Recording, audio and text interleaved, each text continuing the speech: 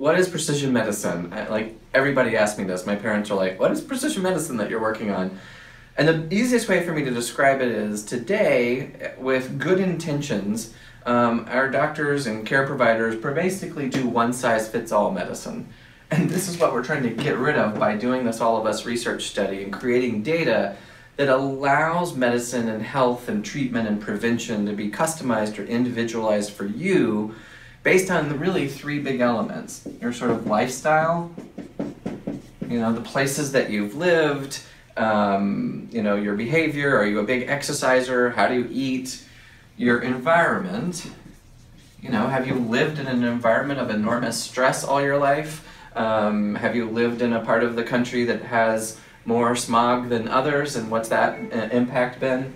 And then your genetics and your biology what's going on with your own body, um, what's your health history, for, for one thing, but also uh, what's your genetic makeup and how is that going to actually impact or potentially impact your future health. Today, we don't really have the ability to pull in data from this, this, and this and understand it at a scientific level, and we don't have the capabilities of doing this for you as an individual. So, precision medicine is really about um, individualizing treatment prevention, and care for you based on these kinds of complex factors.